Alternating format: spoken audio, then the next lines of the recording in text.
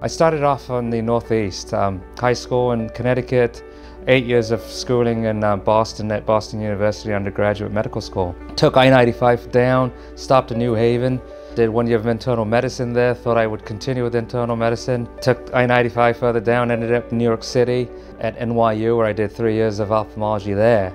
I really took I-95 way, way down with a little crossover on I-4 and here in Tampa Bay at University of South Florida did my um, retina training. When you're going through medical school, you know, you're a jack of all trades, sort of, you know, not really good at any one thing, but you've seen all aspects of healthcare. So somewhere along the ways, obviously, you know, ophthalmology spoke to me.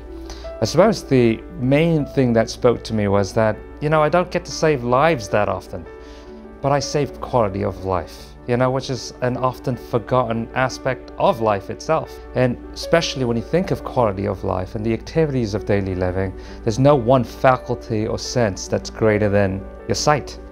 And so the ability to help restore sight or, you know, maintain sight in folks who should care to seek that kind of um, help was an important thing for me. That just spoke to me and hence the decision to go into ophthalmology.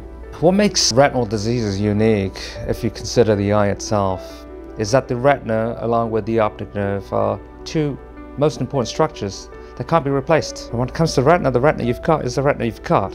All right, so that adds a higher level of sensitivity to addressing and identifying and treating retinal diseases in a timely fashion. Ensuring that your retina is in good health is of critical importance.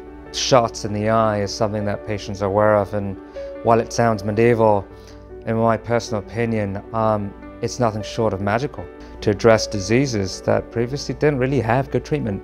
With these injections, we, not only are we stopping further decline, sometimes we're even improving the condition. My personal vow to my colleagues and my patients is that I'll always stay current. I'll never be afraid to adopt um, new techniques or new technologies or new therapeutics. And I think I belong to a brotherhood um, of professionals where we all um, strive to be excellent.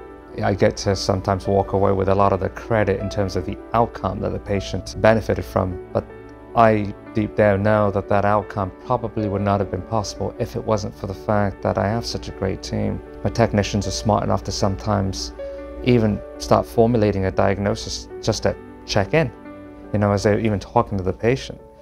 Um, you can't ask for more.